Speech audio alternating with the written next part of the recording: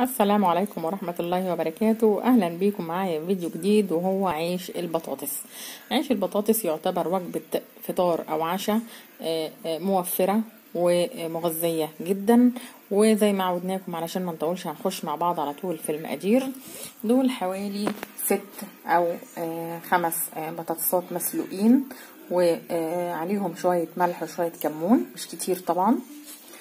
معايا هنا نص كوباية لبن معايا كوبايتين دقيق احتمال محتاجهمش كلهم معايا معلقتين سمسم ومعايا آه، حوالي آه، معلقة آه، بيكنج باودر آه، معلقة ملح ودول حوالي 3 معالق زبدة وعليهم 3 معالق زيت. برضو مش هستخدمهم كلهم وحاجة هعملها. هجيب الهراسة بتاعتي وههرس البطاطس. كويس قوي قوي لازم تتعجن تماما.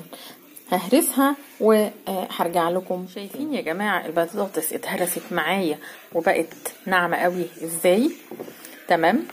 خلاص بعد ما خلصت هرس البطاطس هبدأ إني أنا أحط عليها شوية ملح بس مش كتير. ليه؟ لإني أنا أصلا كنت حاطة ملح وأنا بسلقها. هجيب معايا معلقتين سمسم.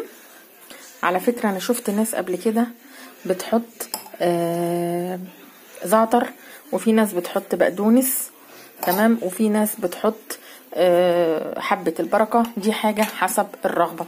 معايا هنا معلقة بيكنج باودر هحطها علشان خاطر تخليلي العيش أو الفطيرة آه نوعا ما طرية أو هشة.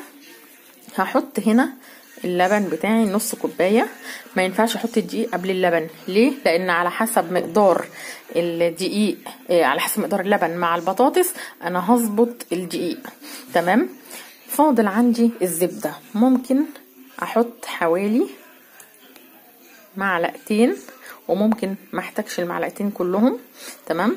أنا بقى اللي بصور فاعذروني لو التصوير فيه حاجة. هقلب كل دول مع بعض وهخلطهم كويس قوي.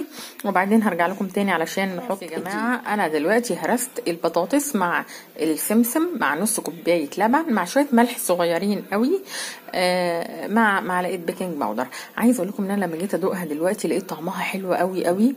على فكرة ممكن إني أنا أعملها كده في السندوتشات للأولاد أو من غير طبعا ال baking powder لو أنا مش هكمل فطيره البطاطس. إنما دلوقتي هحط عليها كوباية دقيق. بس عايزه أقول لكم إن أنا معلش هستعمل حاجة أكبر شوية علشان أقدر إن أنا أعجنهم كويس. وطبعا أنا لوحدي فأنا معلش هسيبكم لحد ما أحط الخليط بتاع البطاطس هنا مع الدقيق وأعجنهم مع بعض كويس وأرجع لكم تاني. نص الكوباية دي أو كوباية دي أنا هحتاجها بس على حسب بقى ما تطلع معايا. وخلاص. يا جماعة خلصت العجين بتاعي. حطيت على فكرة كوبايتين الدقيق وكمان زودت عليهم ربع كوباية علشان أقدر إن أنا ألم العجين. وبصوا شكلها معايا أهي. بصوا أهي. بتتمسك ما بتلزقش في الإيدين بتلف معايا كويس قوي أهي. ولمتها بشوية زيت وده شكل العجين معايا. العجين ده ممكن إني أنا أشتغل بيه دلوقتي على طول وممكن إني أنا أخليه في التلاجة حوالي نص ساعة يريح بس معايا شوية وبعدين أبدأ أعمله. أنا هغطيه بستريتش وهدخله التلاجة نص ساعة يريح وبعدين هنرجع نعمل مع بعض عيش. خلاص يا جماعة. اهي طلعتها من التلاجة بعد حوالي نص ساعة. المفروض وممكن زي ما قلت أشتغل بيها عادي. المفروض إني أنا بطلعها كلها وبفردها بالدقيق بس بصراحة أنا مش هعملها كلها. أنا هعمل دلوقتي حوالي آه تلات فطاير بس أو أربعة علشان آه يعني أوريكم أنا بعملها إزاي لأن هي المفروض بتتاكل سخنة. فلو بردت بصراحة مش هيبقى ليها أي طعم. تمام؟ أنا خدت كورة كده معايا. متوسطة. يا جماعة أنا مش برققها قوي. جماعة بقيه الزبدة اللي كانت فايضة معايا. هدهن سنه بسيطة قوي مش كتير. أنا مش عايزاها تعوم كده في الزيت. أهي. وبعدين هجيب الفطيرة اللي أنا عملتها. معلش بقى أعذروني. مش بملك قوي في التصوير اهي مش هتاخد مني أكتر من آه، دقيقة واحدة بس.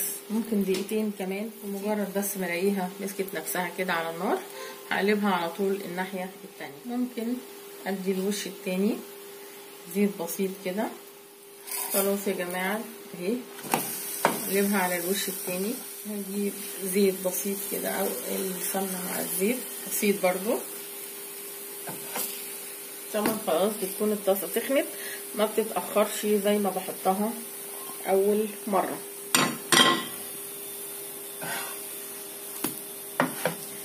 عايزة أقول لكم على حاجة. بعد ما أشيل الفطيرة دي هجيب منديل أنا هوريكم طبعا وهمسح الطاسة. ليه؟ علشان ال- ال- الدقيق اللي بينزل أو السمنة أو الزيت أو الحاجات دي بتتحرق فممكن تديني آه، فتافيت كده لونها سمراء أو لونها أسود مش مش هتبقى شكلها لطيف.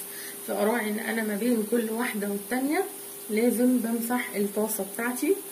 آه كويس. بشيلها وبحطها في الطبق. وزي ما قلت لكم هبدأ إن أنا أنضف الطاسة بتاعتي كده بسيط.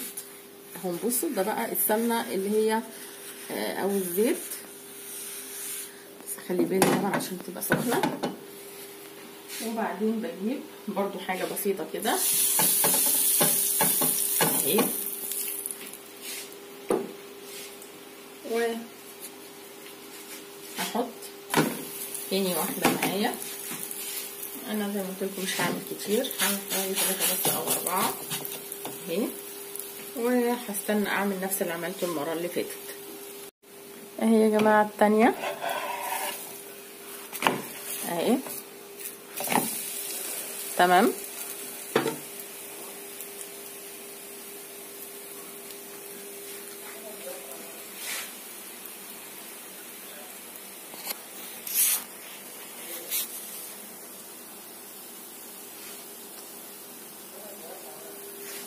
أهي.